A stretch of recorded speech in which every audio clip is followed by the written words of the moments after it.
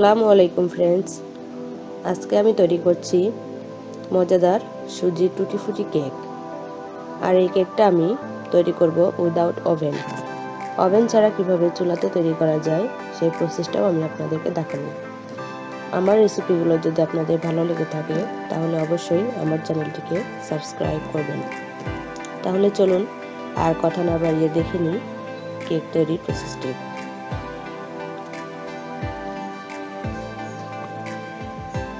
জন্য প্রথমে আমি একটি বাটি নিয়েছি। বাটির মধ্যে আমি নিয়ে নিচ্ছি এক কাপ সুজি। এবার আমি এর মধ্যে অ্যাড করছি হাফ কাপ লিকুইড ঘন দুধ।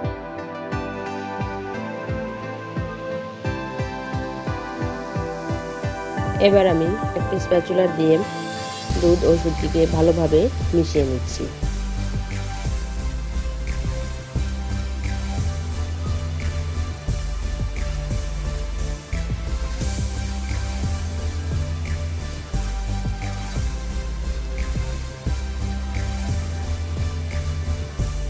আমার মিশ্রণটি মেশানো শেষ। এবার আমি এটাকে এক সাইডে রেখে দিচ্ছি দশ মিনিটের জন্য।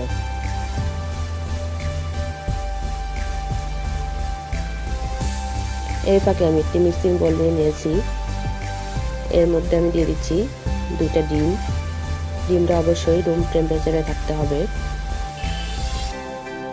এবার আমি একটি ইলেকট্রিক বিটার নিয়েছি। আপনাদের কাছে যদি ইলেকট্রিক বিটার না থাকে তাহলে আপনারা এরকম হ্যান্ড হুইস্কের সাহায্যেও ডিমটা ফোম করে নিতে পারেন। সেক্ষেত্রে সময়টা একটু বেশি লাগবে।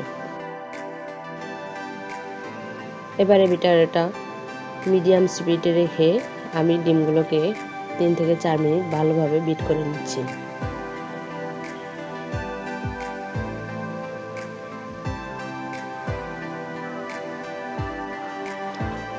তিন চার মিনিট বিট করার পরে দেখুন ফ্রেন্ডস আমার ডিমের কালারটা অনেকটা চেঞ্জ হতে শুরু করেছে। এবার আমি এর মধ্যে অ্যাড করছি হাফ কাপ চিনি। চিনিটা দেওয়ার পরে আমি আবার ভালোভাবে এটাকে বিট করে দিচ্ছি দুই থেকে তিন মিনিট। চিনিটা গলে যাওয়া পর্যন্ত। আমার চিনিটা পুরোপুরি গলে গেছে। এর মধ্যে আমি দিয়ে দিচ্ছি ওয়ান থার্ড কাপ তেল। দিয়ে এটাকে আমি আবার ভালোভাবে দুই মিনিট বিট করে নিলাম। আমার এগুলো বিট করা শেষ। দেখুন ফ্রেন্ডস এটা অনেকটা ক্রিমি ভাব চলে এসেছে। এবার আমি এর মধ্যে অ্যাড করে দিচ্ছি আগে থেকে ভিজিয়ে রাখা সুজির মিশ্রণটি।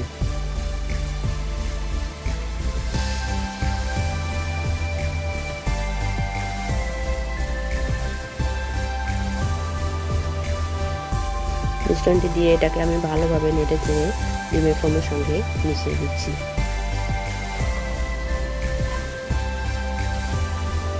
এবারে এর মধ্যে আমি অ্যাড করছি দু তিন ফোঁটা ভ্যানিলা এসেন্স ও এক চা চামচ বেকিং পাউডার আবার সবগুলো উপকরণ আমি ভালো এবার আমি এর মধ্যে মিশিয়ে দিচ্ছি এক চিমটি লবণ ও কিছু টুটি ফুটি ব্যাস, আমার সবগুলো উপকরণ দেওয়া শেষ। এবার আমি এগুলোকে মিশিয়ে একটি সাইডে রেখে দিচ্ছি। এখানে আমি একটি রাউন্ড শেপ মোল্ড নিয়েছি এখানে আমি সামান্য একটু তেল দিয়ে ব্রাশের সাহায্যে চতুর্দিকে ছড়িয়ে দিচ্ছি।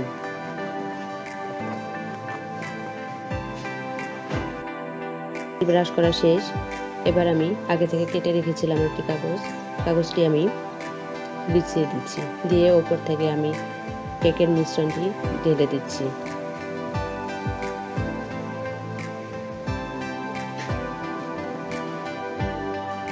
আমার সম্পূর্ণ মিশ্রণটি ঢালা শেষ। এবার আমি এভাবে দুই তিনবার এটাকে ঠিক করে নিচ্ছি, যেন ভিতরে কোনো বাবলস থাকে, এটা বের হয়ে যায়। এবার ওপর থেকে কিছু টুটি টুটি ছড়িয়ে নিলাম।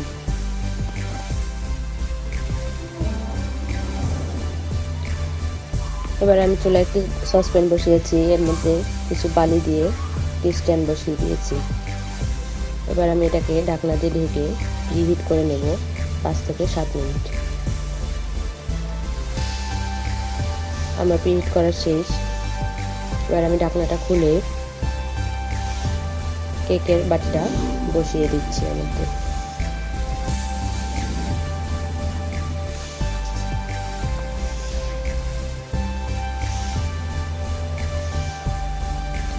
এবার এটাকে ঢেকে দিচ্ছি চল্লিশ মিনিটের জন্য। এরপর যে চুলার আঁচটা একদম লোতে রাখতে হবে। ফিরছি চল্লিশ মিনিট পর।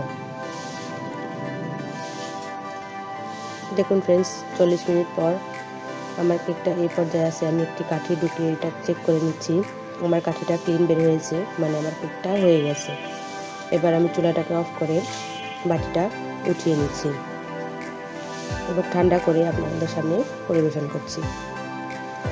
দেখুন ফ্রেন্ডস এটা ঠান্ডা করার পরে আমি কেকটা মোল্ড আউট করে নিয়ে এই কেকটি দেখতে শুধু সুন্দর না, খেতেও অসম্ভব মজার। আমি এক পিস কেক আপনাদেরকে কেটে দেখাচ্ছি।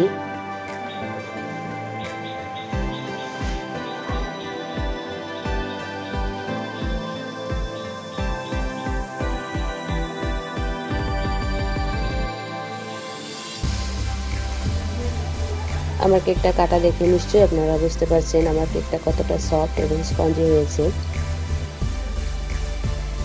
দেখুন ফ্রেন্ডস এটা ভিতরে কতটা কালারফুল এবং সুন্দর হয়েছে। আশা করি আমার রেসিপিটি ফলো করে আপনারা বাসায় অবশ্যই ট্রাই করবেন।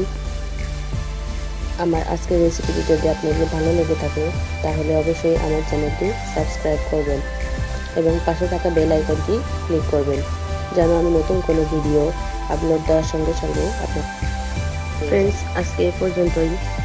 আগামী কোনো দিন নতুন কোনো ভিডিও নিয়ে আবার আপনাদের সামনে হাজির হব। সে পর্যন্ত সবাই ভালো থাকবেন এবং আমার জন্য দোয়া করবেন। আল্লাহ হাফেজ।